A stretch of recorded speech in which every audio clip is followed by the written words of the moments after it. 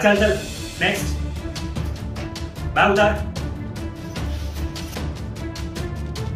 उतार। बोल पूरा। बाल झाड़। बाल झाड़।